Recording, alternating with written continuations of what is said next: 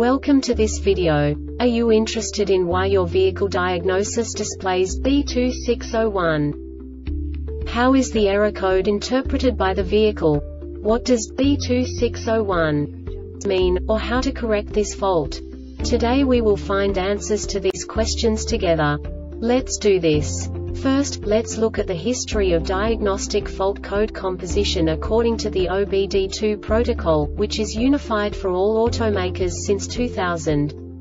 We divide the electric system of automobile into the four basic units.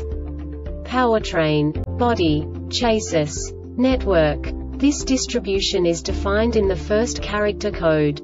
If the second character is expressed as zero, it is a standardized error. In the case of numbers 1, 2, 3 it is a more prestigious expression of the car-specific error. The third character specifies a subset of errors. The distribution shown is valid only for the standardized DTC code.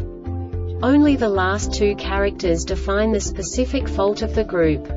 Let's not forget that such a division is valid only if the other character code is expressed by the number 0. Our website airbagreset.sk produces useful videos for you. You do not have to go through the OBD2 protocol anymore to know how to troubleshoot any car breakdown. You will find all the diagnostic codes that can be diagnosed in a Honda vehicles. Also many other useful things. The following demonstration will help you look into the world of software for car control units. You unbelievably can move the video a bit further. The error code is split into two bytes consisting of 16 bits. One bit is the basic unit that each computer works with. The bit has two logical states. 0, low level, 1, high level. By combining the first two bits, the basic character of the error code is expressed. The next two bits again determine the second character. The last beat styles of the first byte define the third character of the code. The second byte is composed of a combination of 8 bits. The first 4 bits determine the fourth character of the code. And the combination of the last 4 bits defines the fifth character. A single byte conceals 256 possible combinations.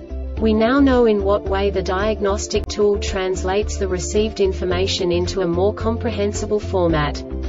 The number itself does not make sense to us if we cannot assign information about it to what it actually expresses.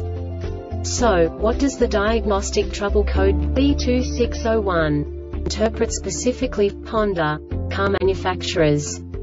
The basic definition is parking sensor CPU error. And now this is a short description of this DTC code. CPU error.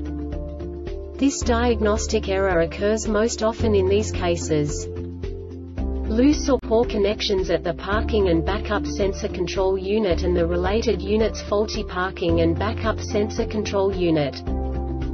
The Airbag Reset website aims to provide information in 52 languages. Thank you for your attention and stay tuned for the next video.